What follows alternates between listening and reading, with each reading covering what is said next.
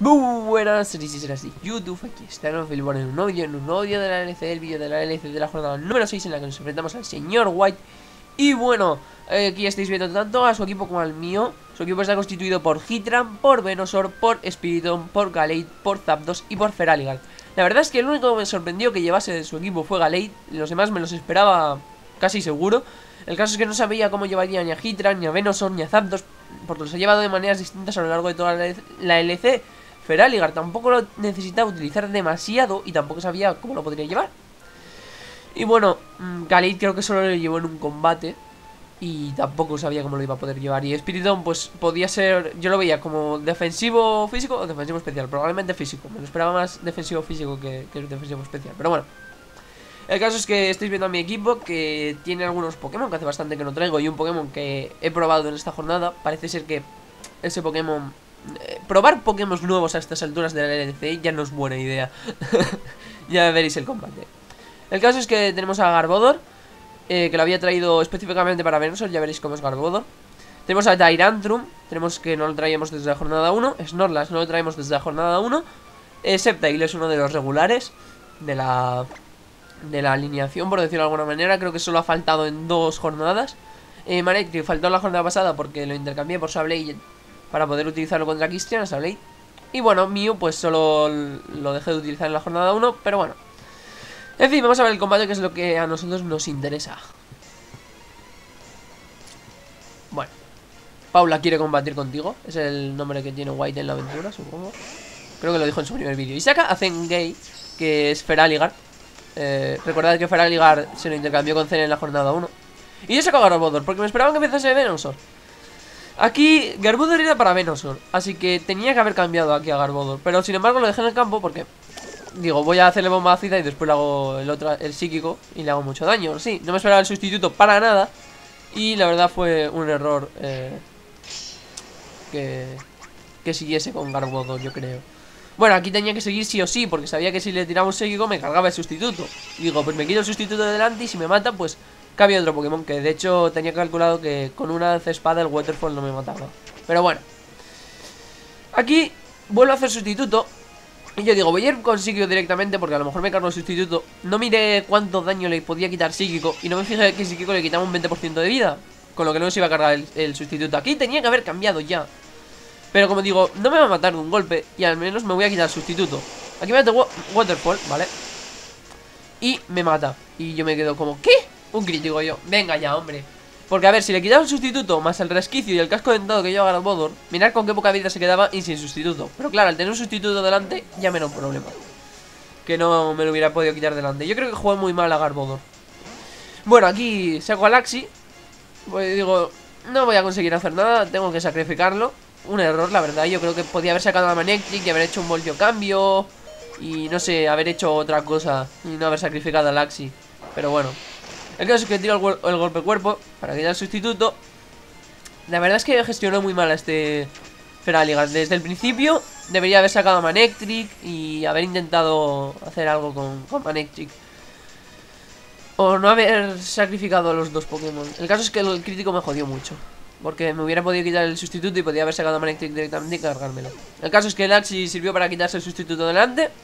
Y sacó a Hayaku, que es Manectric. Y que en esta jornada llevaba la, la Scar. Entonces le hago voltio cambio para cargarme a Zen y, bueno, pues eh, finiquitarlo, rematarlo, ¿vale? Y el... Bueno, Magnetic vuelve conmigo, obviamente, y ahora él sabría qué Pokémon puede sacar dependiendo del Pokémon que saque yo. Yo saco a Mew porque me pareció la mejor opción. No sé, era el único defensivo que me quedaba y a lo mejor no fue la mejor opción. Y él me saca a Ley. Y yo digo, bueno, vale, voy a quemarlo. Y me hace sustituto yo. No, en serio, dos Pokémon con sustituto. Dos Pokémon con sustituto, en serio, no me lo esperaba. Y lo peor de todo es ahora. Él hace danza de espada. Y yo me quedo como Dos Pokémon con la misma estrategia. Eso sí que me sorprendió mucho. Entonces se subieron el ataque. Y bueno, lo bueno es que con Mew Donde desarme sí que le quitaba 25% de vida Y me cargaba el sustituto Que eso tiene algo de bueno. Y que Mew resistiría un... un no, no, además nosotros no resistía un desarme Ahora me tira desarme y me mata Mew. Y yo me quedo como mierda. Pero es que si se acaba otro Pokémon me lo iba a matar de un golpe también. Bueno, el, Sí, porque Tyrantrum no sería más rápido que él y me lo mataría de dos. El caso es que saco a Hayaku y le tiro el lanzallamas para... No, porque le quitaba más o menos un poco de vida y a ver si lo quemaba. Lo consigo quemar y yo me quedo como... ¡Qué suerte tengo! Pero le llevaba la valla y yo... Mierda, así que he sacrificado a Mew para quemar un Pokémon que se iba... Que se iba a curar. Y yo, pues bien, pues a la mierda Manectric. Y eh, se baja las defensas. Eso es lo único bueno. Ahora me quedo con dos Pokémon, me quedan solo Sceptile y Tyrantrum. Qué mal empiezo algunos combates, de verdad. Yo creo que podría haberlo gestionado bastante mejor para llegar a este... A estas alturas del combate con... Con más igualdad, la verdad.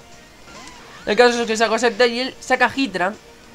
Con Sceptile llevaba... Llevaba golpe aéreo, como vais a ver ahora.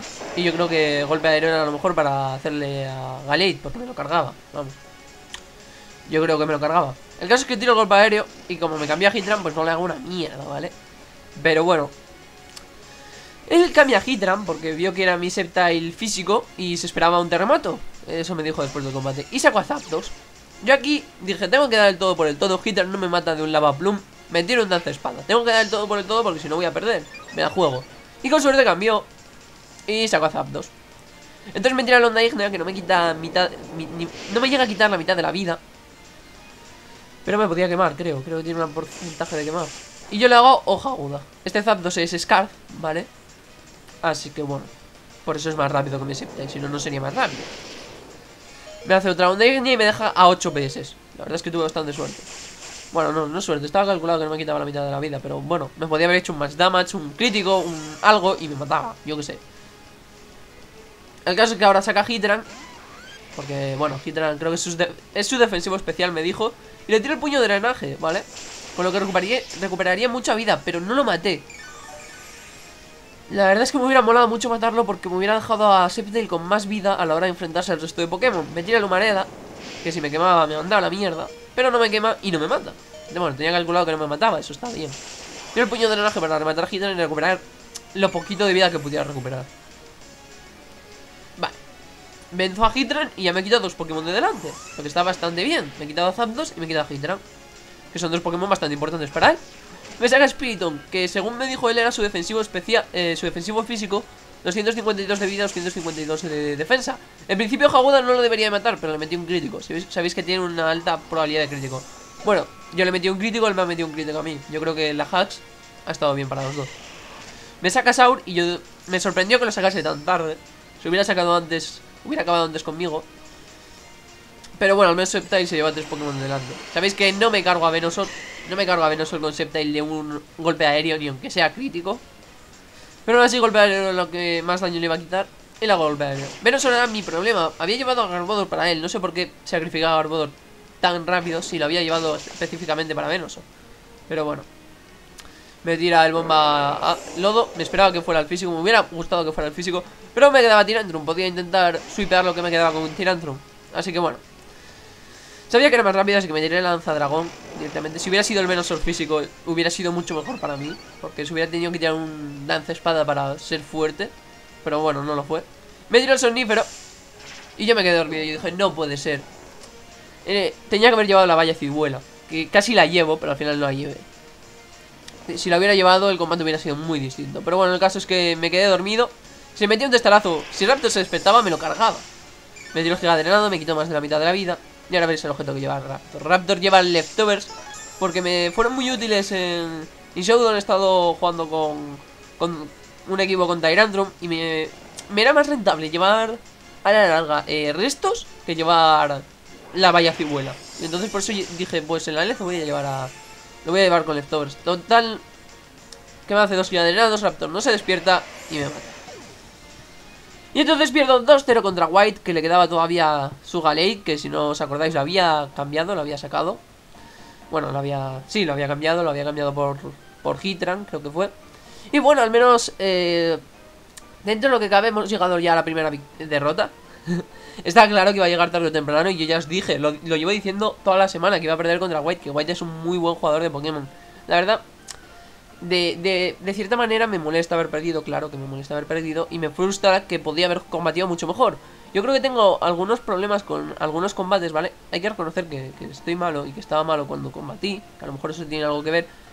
Y que cuando suelo estar malo, bueno, las dos veces que he estado malo combatiendo, eh, no sé si os dais cuenta que fue contra Serval. Eh, empiezo los inicios de combate muy mal, ¿eh? ¿eh? Bueno, no sé si es porque estoy malo o porque estoy muy nervioso. La verdad es que estaba muy nervioso cuando me enfrenté a White. A lo mejor me tengo que tranquilizar un poco antes de los combates, pero bueno, el caso es que hay inicios de combate que empiezo muy, pero que muy mal y después con los Pokémon que me quedan, pues de una manera u otra intento solventarlo para arriba. En esta ocasión no tuve tanta suerte como contra Serval, que pude ganar el combate por la mínima, pero lo pude ganar. Y contra White, obviamente, pues no, no se dio el caso de que pudiera ah, llegar a la remontada, la verdad.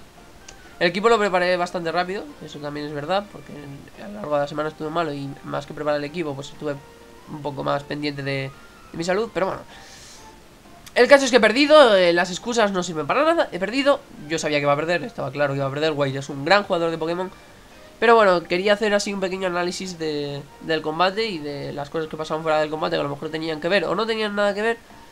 Y bueno, nada, yo estoy contento con el combate, la verdad, estoy bastante contento sí que tuve un poco, un, poco de suerte ahí para swipear con Sceptile. Y sí que me molesta haber eh, gastado la baza del Sceptile físico. Porque ahora va, a haber gente que se lo va a esperar físico. En un combate que he perdido. Porque me esperaba dar la sorpresa con el Sceptile físico y poder ganar. El caso es que no. Eh, he jugado muy mal el principio del combate. Y no he llevado la valla igual con Tyrantrum que hubiera sido clave, muy clave. Porque con la vida que le quedaba a Venusaur, quizá de un testarazo no. Pero yo creo que de dos me lo cargaba. Eh, quizá me lo cargaba un testarazo. Si no fuera full defensivo físico, no sé cómo era, ¿eh? Que creo que se lo pregunta White, pero no me acuerdo. Si no hubiera sido eh, full defensivo físico, yo creo que de un testarazo me lo podía cargar. No sé. Eh, pero de dos casi seguro que sí. No, no lo sé, ¿eh? no he hecho los cálculos. Así que si alguien hace los cálculos, que no me venga aquí y diga, eh, que, no tienes razón. Yo creo que sí. Que me lo cargaba. Y después, pues Galate, pues a 1,5 de, de Tyrantrum yo creo que me lo podía cargar fácilmente. Ya un Dragon Claw o algo así, no sé cuánto... No, le quedaba toda la vida, ¿no? Entonces a lo mejor no me lo cargaba. Bueno, no, le había gastado un sustituto. Bueno, no sé. El caso es que he perdido. Eh, vamos a ver si la semana que viene, que nos enfrentamos a otra persona muy fuerte, que es Rayon, podemos intentar eh, ganar. Y nada, yo creo que he aprendido bastante esta derrota. Y que voy a tener que preparar los equipos con un poquito más de antelación. Y ya está. Nada, nos vemos en el siguiente vídeo, espero que os haya gustado. Ir a ver el combate de White para ver cómo lo ha vivido él. Y nos vemos en el siguiente vídeo, que tengáis un buen viaje, Phil, se despide por aquí, chao